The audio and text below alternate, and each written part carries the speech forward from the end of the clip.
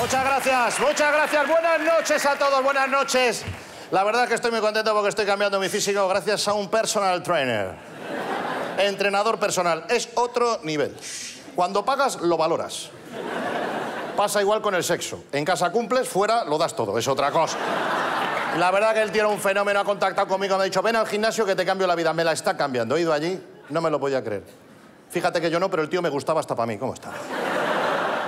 Reventaba de salud, el pie perfecto, la zapatilla colocada, parecía que había nacido dentro de la ropa de deporte.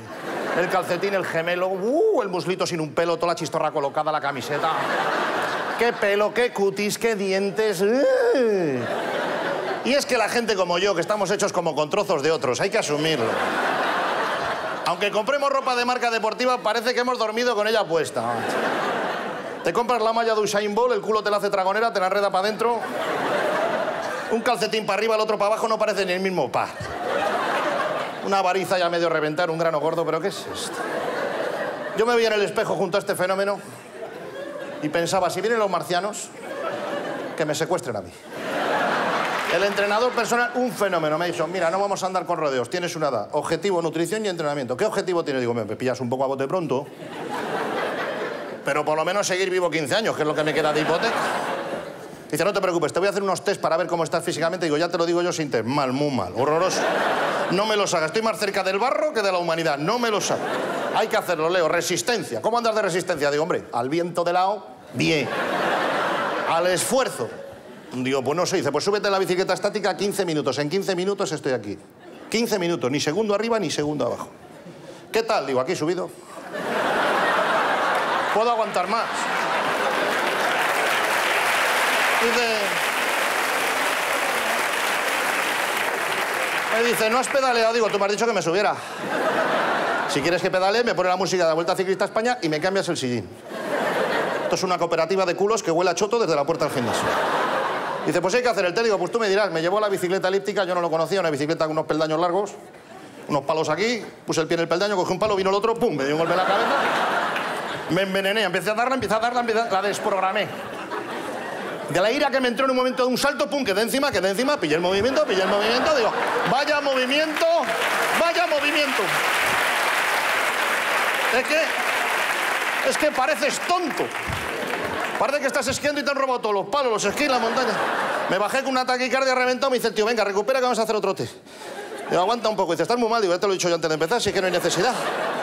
Y vamos a hacer un test de elasticidad, la gran desconocida de la cultura física. Es muy bueno para las fascias, para los tendones, para los ligamentos. ¿Cómo andas de elasticidad? Digo, pues mira, yo tengo un problema que en medicina se llama el síndrome del azulejo. Es más fácil partirme que doblarme. Me dice, como lo cuento, me dice, eh, es, es un movimiento muy sencillo. Mira, te bajas, empezó el tío a doblarse, pero como el prospecto de un medicamento. Encima sonriendo, que fue lo que me humilló. Porque si el tío baja jodido, dices, esto es humano, pero el cabrón sonriendo, dice, bajas, te tocan las punteras, si estás muy bien el interior del tobillo, si estás muy, muy bien, te coges los talones por detrás. Digo, vamos a ver, que te quede muy claro. Hace que no me cojo yo los talones por detrás, ni en la placenta, que no tenía los huesos.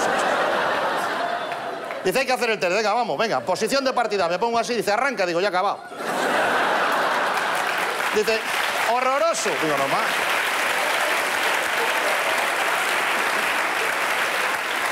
Me dice, no puedes estar tan mal. Digo, mira, escúchame. Me han dado tres infartos poniéndome los calcetines. No riáis de esto, porque los, los calcetines están llevando a gente por delante. Siempre aparecen noticias. Murió junto a la cama en circunstancias naturales. No. Naturales no. A que tenía medio calcetín puesto. Pues elasticidad muy mal. Dice, era un pequeño test de fuerza. Dice, voy a por un balón. Digo, te lo pongo donde quieras. Trajo un balón de 5 kilos. Digo, ¿y esto? Dice, es medicinal. Digo, ah, muy bien. Entonces, para ti un melón es una aspirina. Un concepto de esto bueno. Pero mira, no hay mal que por bien no venga. Yo tengo unos sobrinos muy traviesos. Les he regalado este balón medicinal. Va, bajar al parque con el balón del Tito. Ya ni suben. Les ha traído el Samur dos veces. Muy bien. Hicimos los test y el tío me dijo, pues está francamente mal, vamos a cuidar un poquito la nutrición, te voy a decir unos alimentos malos. Digo, te voy a venir. Te voy a venir, ¿qué me vas a quitar? ¿Qué te vas a quitar? El pan, te voy a quitar el pan. ¿Por qué? Dice, el pan engorda. Digo, eso es mentira. Tú dejas un kilo pan, vuelves y hay un kilo pan. El pan no engorda. Engordo yo que lo mojo en los callos. Yo he perdido relojes en raciones de callos. He metido el brazo hasta el codo. Hasta el codo.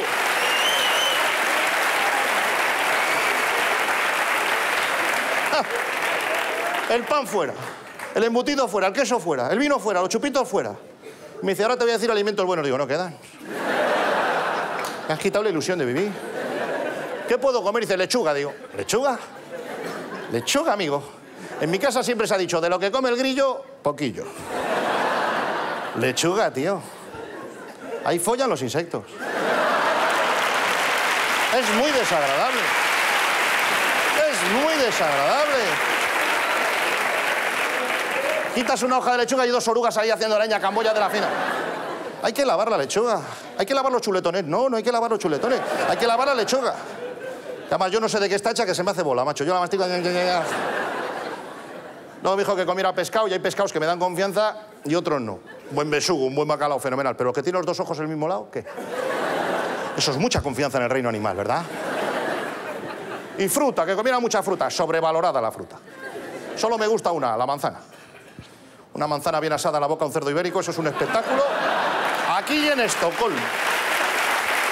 Y luego hay una fruta que no entiendo, la sandía, la sandía, digo, muy grande.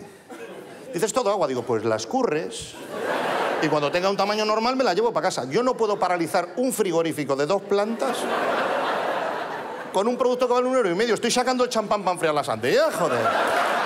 Bueno, pues no veas. Digo, yo, yo voy a pasar mucho hambre. Digo, dime algo para cuando tenga ansia. Dice, pues te comes unas tortitas de arroz. Las tortitas de arroz son unos discos de desmaquillar. ¿Qué hacen con lo que sobra de mover las minicadenas y los equipos de música? Es una alegría comer eso. Ah, Digo, prefiero comer la colchoneta un montañero, por lo menos huele a queso, por lo menos sabes que comes algo. Es impresionante. Y luego... Digo, ¿y qué vamos a hacer de actividad? Me dice el tío, tienes que reestructurar el cuerpo que está muy mal alineado. Digo, ya lo noto yo cuando me he visto, que a veces me pongo la capucha en el pecho, estoy muy descentrado. Dice, vas a hacer un poquito pilates. Y yo al pilates, pues fui de buenas. Fui al pilates, llegué allí, empezaron la clase, abre la pelvis, siente la cadera, mueve la pleura, hace la costilla, tras el homoplato, sube los hombros, la cara afuera, la rodilla. Dije, ¿esto va a ser así toda la hora? Yo parezco Robocop aprendiendo sevillana, esto aquí. Ahora, sacaron dos balones azules gordos.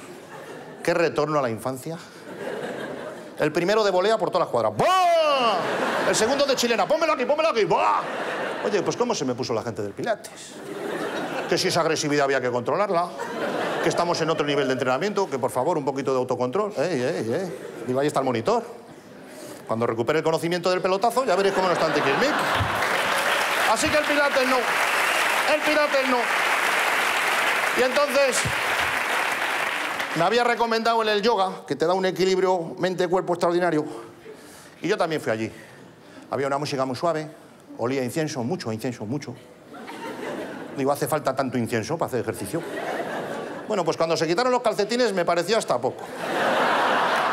Me puse allí, vino el monitor, ay, cómo vino, vino un pavo ahí.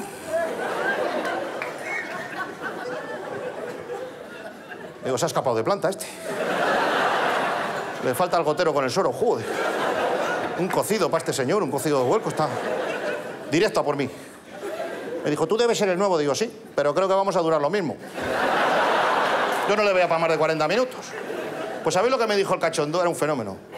Me dice, lo primero te voy a enseñar a respirar. Digo, llevo vivo 52 años, no lo estaré haciendo tan mal. Pues no ríais porque no tenéis ni idea de respirar. Bueno, para relajarse.